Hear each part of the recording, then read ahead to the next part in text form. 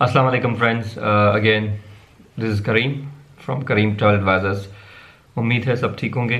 Uh, मेरा जो अ, दूसरा चैनल है ब्रिज बिल्डर उसको प्लीज़ ज़रूर सब्सक्राइब कर लें और वो उसको ज़रूर चेकआउट करिएगा।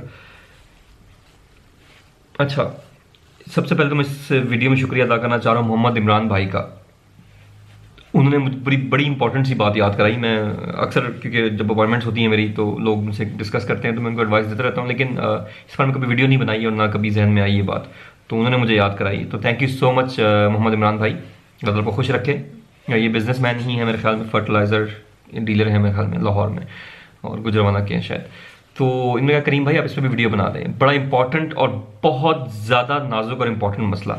वो ये है कि जब हम किसी कंट्री का अप्लाई करते हैं, खासतौर पे बड़ी कंट्रीज़ का, जैसा कि होता है शेंजन हो गई, कोई भी बड़ी कंट्री यूके हो गया, आप यूएस अप्लाई कर रहे हैं, कहीं भी अप्लाई कर रहे हैं, और बड़ा एक इंपॉर्टेंट फैक्टर है जो हम शायद भूल जाते हैं या नहीं जहन में हमारे तो ये मैं आपको याद दहानी करा दूँ कि आपका जो टैक्स रिटर्न है या आप इनकम की जो अपनी फ़ाइल उनके सामने रखते हैं, जी, मेरी मंथली इनकम है जारी बात है आप वो प्रूफ ऑफ़ इनकम मांगते हैं, हर एम्बेसी मांगती है तो आप उनको जब शो कराते हैं कि जी, मेरी सालाना इनकम तो चार पाँच लाख है, ये है, या जो बिज़नेस बिजनेसमैन उनकी बात कर रहा हूँ जॉब्स वाले भी जो भी अपनी सैलरी होती है वो शो कराते हैं, मैं बिज़नेस पॉइंट ऑफ़ व्यू से बात कर रहा हूँ, क्योंकि ज़्यादातर हमारे माशाल्लाह कारोबारी भाई काफ़ी ज़्यादा हैं, जो अप्लाई करते हैं बिज़नेस लिए ट्रैवल भी करते रहते हैं तो कहते हैं जी, हमारी तो मंथली दो तीन लाख इनकम है दो लाख एग्ज़ाम्पल ले लें तो साल की मेरे ख्याल में चौबीस लाख बन जाती है।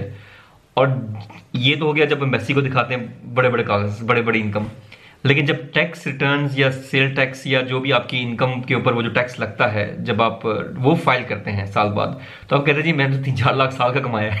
तो बेसिकली वो दो लाख कहाँ महीने का और कहाँ तीन चार लाख साल का? तो मतलब वो बीस हज़ार रुपया महीना कमा रहे हैं शायद मेरे ख्याल में इस हिसाब से। तो वो जब आप टैक्स रिटर्न अगर आप ओरिजिनल अपने लगाते हैं और फिर जब आप उनको मंथली इनकम शो करते हैं तो वो कोई मैच नहीं होता फिगर ना। इस वजह से ज़्यादातर केसेस भी रिजेक्ट हो जाते हैं आपके कि वो एम्बेसी कहती है, ये ये क्या? इनका तो कोई मेल मिलाप ही नहीं है। मतलब आपने उधर से ज़ीरो शो कराई हुई है अपने रिटर्न की, और उधर से इनकम आप दिखाते हैं, जी, मेरी तो ठीक ठाक इनकम है, लेकिन वो खर्चे निकल गए सारे। तो आप तो कुछ बचा ही नहीं रहे। वैसे भी कॉमन सेंस की बात बचती है कि अगर आप मतलब एक उसको हट के बात करें, हम वीजे को भी छोड़ दें फ़िलहाल, और एन टी एन को भी छोड़ दें मतलब हर चीज़ को छोड़ दें जनरल सी बात है ना, एक बंदा दो लाख रुपए महीने की कमा रहा है, और वो बचत ही नहीं कर रहा, साल बाद उसको कहता है, जी मैंने चौबीस लाख कमाया, लेकिन मेरा सारा चला गया, यहाँ भी खर्चा हो गया, दुकान का किराया निकल गया फ़ीस निकल गई बच्चों की। मतलब जो भी उसने एक्स वाई जी अपने एक्सपेंस डाल के ओवरहेड भी सारा डाल के उसने कहा, जी मेरा ज़ीरो बचत है। तो भाई आपके पास फिर पैसे कहाँ से आएँगे ट्रिप लगाने के लिए? तो ये भी तो कॉमन सेंस की बात है ना, अगर आपके पास साढ़े दस लाख बचा है, इसका मतलब आपकी इनकम आई है, उसमें एक्सपेंस कम हुए हैं और आपकी बचत ज़्यादा हुई है, तब जाके आपको जस्टिफाई कर सकते हैं इस बात को। यानी मतलब ये कोई मैं रॉकेट साइंस या कोई मैथ्स की बातें नहीं कर रहा, लेकिन एक जनरल अकल की बात कर रहा हूँ कि अगर आप अपनी इनकम शो करा रहे हैं ज़्यादा सेविंग भी नहीं शो करा रहे, बचत भी नहीं कभी टैक्स से बच जाऊँ, लेकिन आप एम्बेसीज पर कैसे वीज़ा लेंगे? जब उनको आप बचत नहीं शो कराएँगे।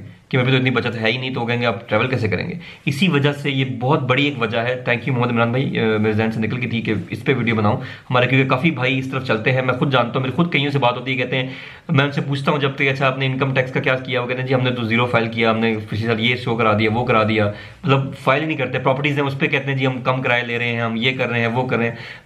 अक्सर मेरे पास इस तरह के काफ़ी केस हैं।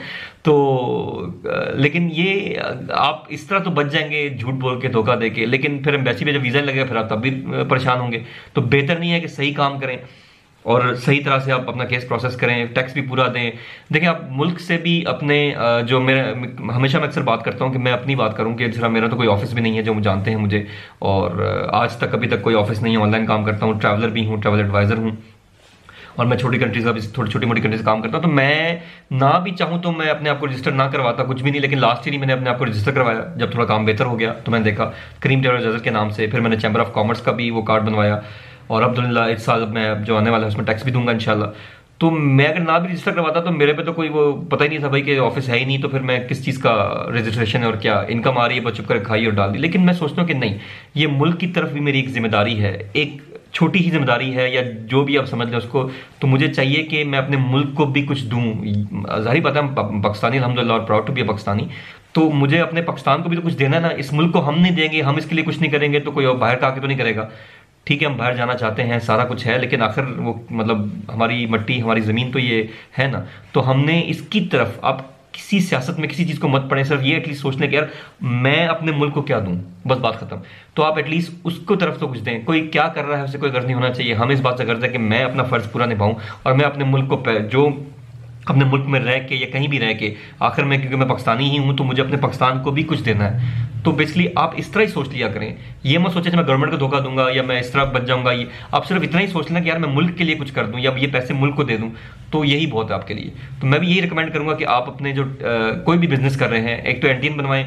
अच्छा एनटीएन का जो चीज़ है वो सबको पता है अब तो आईडी कार्ड के अगेंस्ट है। आपका आईडी कार्ड नंबर से मेरा आईडी कार्ड नंबर मारेंगे तो मेरे आईडी कार्ड पे जो भी कंपनी रजिस्टर्ड है मेरा वो एनटीएन बना हुआ उसी के अगेंस्ट बना हुआ एनटी कार्ड नंबर ही मेरा एनटीएन नंबर है। तो उसी अगेंस्ट वो जितनी भी कंपनीज़ होंगी रजिस्टर आ जाएँगी।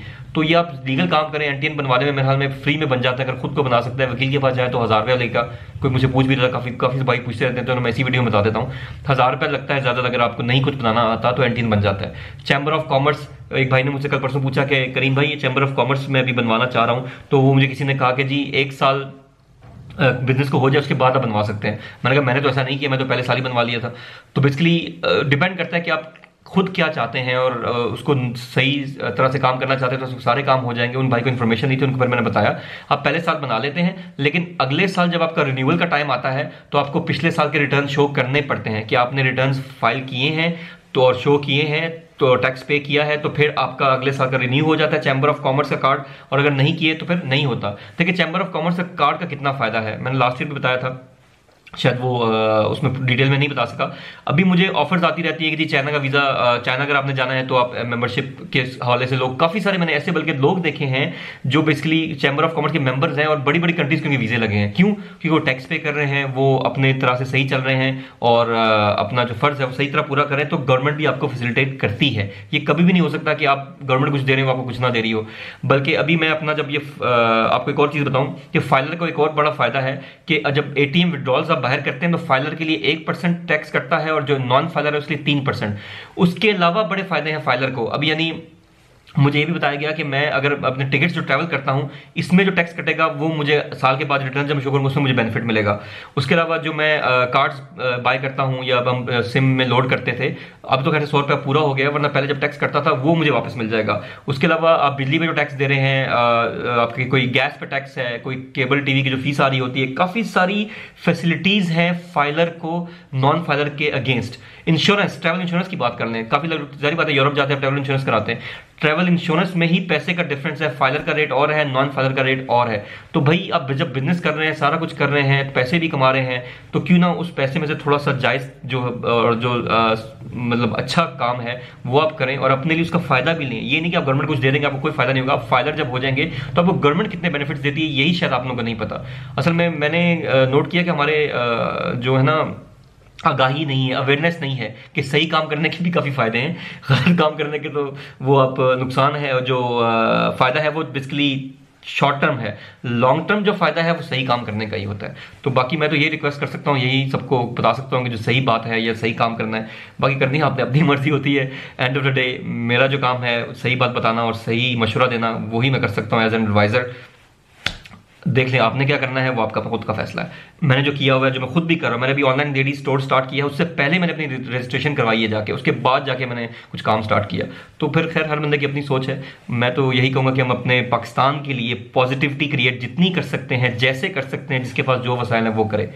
This what I would say thank you so much love you all please दुआ में याद रखें. Thank you again Mohammad Imran भाई. इस वीडियो को ज़रूर शेयर कर दिया करें. कोई इस बात अगर आपको चाहिए कि मैं इस पर वीडियो बना दूँ तो प्लीज़ जैसा कि मैं कहा कमेंट कर दें या व्हाट्सएप कर दें या मैसेंजर में इनबॉक्स कर दें. लेकिन प्लीज़ टैक्स ज़रूर पे करें और अपने जायज़ जो भी अपनी, आपके बिल्स बन रहे हैं, आपकी आप गवर्नमेंट की तरफ़ जो देना चाह रहे हैं या बनता है आपका, वो ज़रूर दें. Thank you so much love you all stay plus तो हमें प्लीज़ याद रखें. अल्लाह हाफ़